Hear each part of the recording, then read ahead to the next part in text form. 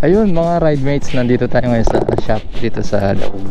At kinuha namin yung truck kasi pinagawa siya. Ngayon na dalawa kaming pumunta rito, gamit namin tong Aerox na to. Ayan, pagkita ko muna. Ayan. May rides phone eh. oh.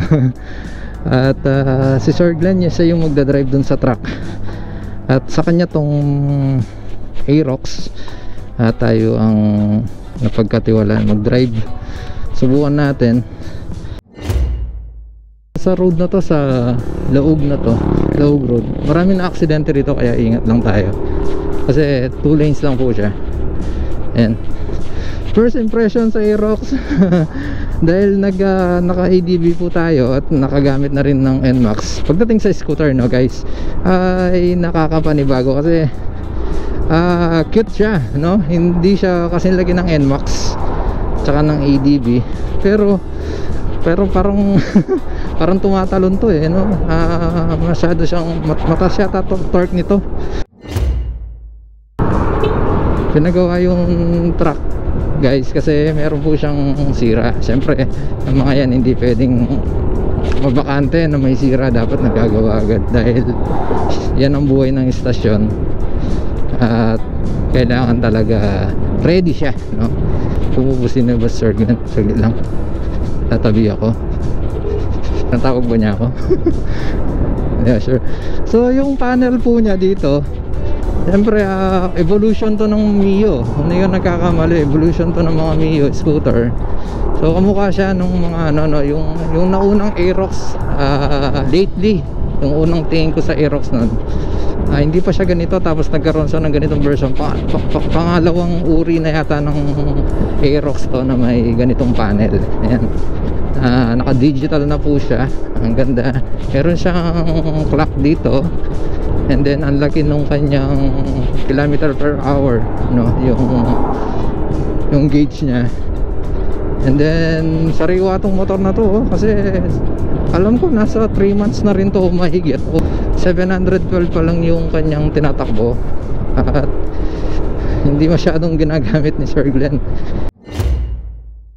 And then dito sa paa ah, aggressive siya eh no? Nakaganito ka agad you know pwede di pwede ba rito sa likod? Yan ah dito talaga yung paa mo.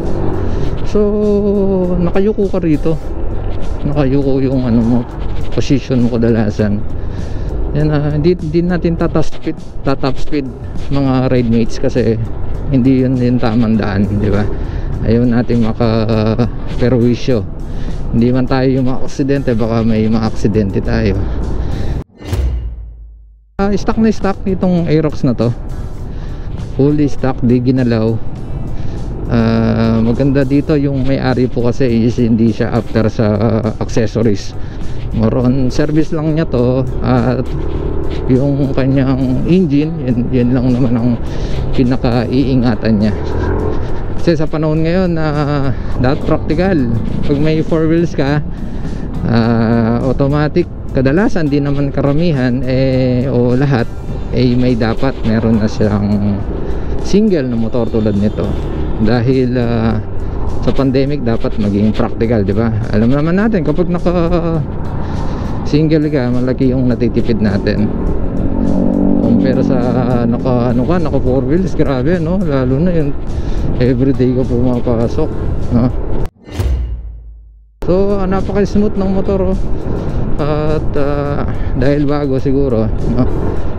Walang ka-dragging dragging nakakatuksong iyataw pero wag natin siyang pagbibigyan dahil bawal. Nasa public road tayo guys. Ito yung Aerox version na walang ABS safety ang ano eh purpose ng ABS so alalay sa preno syempre. Yan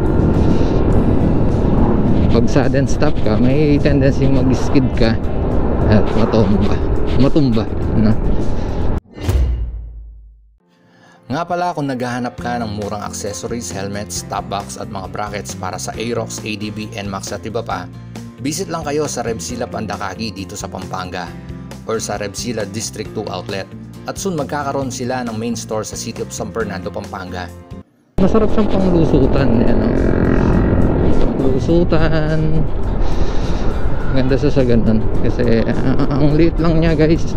Pero malaki na to kumpara dun sa mga naunang scooter nun. Yan oh. Ayun nakasalubong tayo yung Aerox. Yan yung Aerox dati. Pero gusto ko guys yung Aerox kulay puti. Alam ko may kulay puti na version to eh. May pagka ano siya may pagka Philippine look no? Yung parang maharlika oh Aerox din oh naglalabasan yung Aerox ah. Oh Aerox ulit. Ang galing ah. Pang racetrack tong motor na to. Kasi lapad din ng likod niya. So nandito na tayo sa istasyon at hanggang dito na lang. At salamat na try natin tong motor ni Sir Glenn na napakaganda. No? So pakita ko lang bago natin sole, samantalayin natin yung pagkakataon. I ano lang siya, center stand. Pakita ko lang yung pinaka-itsura niya. Ayan, dito sa side na to, wala siyang grab talaga. Ito na yung pinaka-grab niya. And then size ng gulong ay 140 over 70 by 14 dito sa likod. Dito sa harap is nasan? Ito 14 din. Pero mas malapad yung ano eh. Ito lang hindi ko makita yung natakpan eh.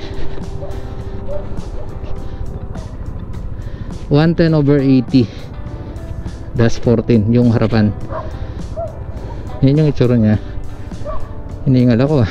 tinaas ko lang yung blue core syempre. Yamaha Yamaha automatic yun ayan ganyan lang naman siya. Ito yung compartment. Ganyan siya. Kaya lang baka matrasan. Kaya lang lipat ko. Hiningal ako